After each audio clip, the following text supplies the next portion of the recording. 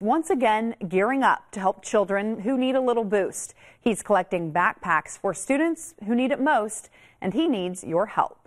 Here's how he's making a difference. He was able to start collecting a few today. The need is always there. Don Pratt is hoping to stock up on new or gently used backpacks this week to deliver to a school in western Kentucky. There's been a dire need for supplies.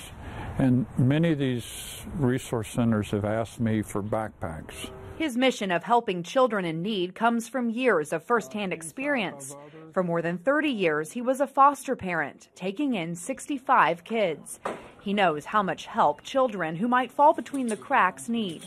When Pratt started collecting donations about 20 years ago, it was simple give foster children something to just be able to store their things. And I noticed that they needed luggage and backpacks and duffel bags, and so I would collect them and then give them to kids that I had, and then eventually people caught on and did some luggage drives for me, and it became a much bigger project. Thousands of items later, he still sees the same reaction each time a child receives something. It's a psychological benefit, and I've seen the very serious excitement by young people to receive something that's theirs forever. Amazing what something as simple as a bag or a backpack can do.